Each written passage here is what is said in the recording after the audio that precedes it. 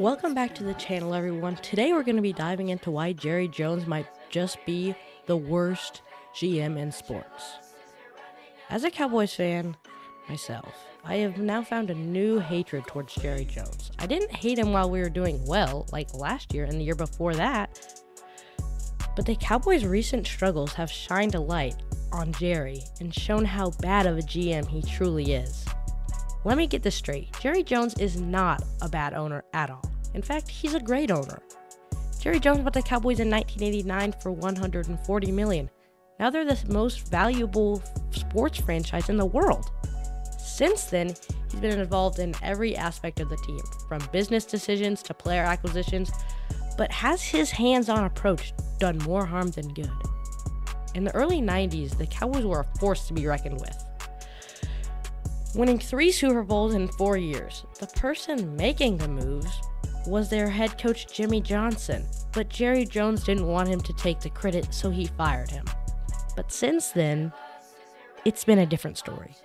My main point that I like to bring up a lot is imagine if a coach has a usually well constructed roster for around five years.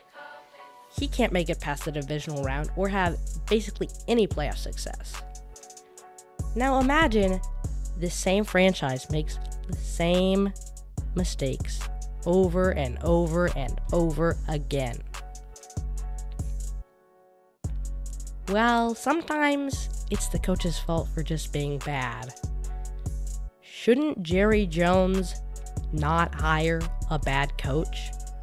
Or construct a better roster? From Jimmy Johnson to Jason Garrett and now Mike McCarthy, the Cowboys have seen numerous coaching changes, often with Jones at the center of the controversy. But let's not overlook what Dallas is very talented at. Because if there is one thing they are good at, it is the draft. Now let's look at their past few picks, alright? First, in 2016, their first round pick was Zeke who, yeah, he's washed now, he's not very good, but in his prime, he was quite unstoppable. But they didn't just stop there in that draft. They also landed Dak Prescott, their franchise quarterback, in the fourth round. And in 2019, they selected Tony Pollard also in the fourth round. And in 2020, they got CeeDee Lamb, their number one wide receiver for what I hope is for years to come, and Trevon Diggs in round one and two, respectively. In 2021, they selected quite possibly one of the best defensive players in the league, Micah Parsons. But the reason why they're good at drafting isn't because of Jerry Jones. It's someone else in the organization.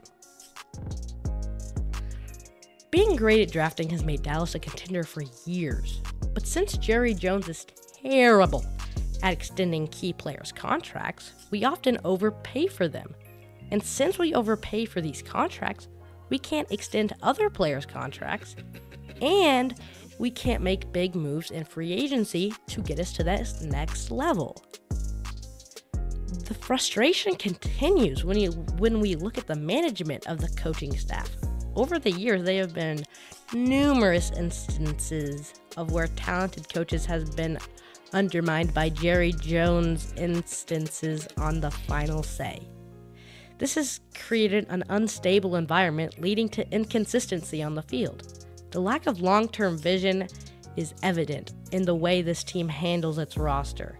Instead of building a cohesive unit, decisions are often made for short term games ignoring the bigger picture. This has left Dallas with a mix of talented but mismatched players who struggle to perform as a team. Jerry Jones's media antics often overshadow the team's performance, like whenever CeeDee Lamb said that he was in favor of building curtains, and Jerry Jones said, Well, might as well just tear the whole dang stadium down.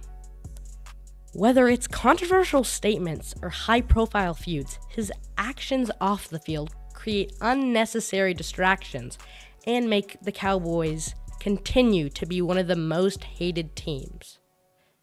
This constant media circus impacts the players' focus and the overall morale of the team.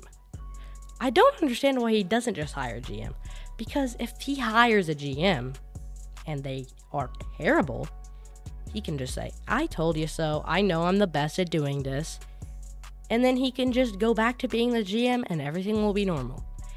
But if he hires a GM and they do really well and do something like win the Super Bowl, the value of the Cowboys would go up. And he would be richer. So it would be a win win situation. But what do you guys think?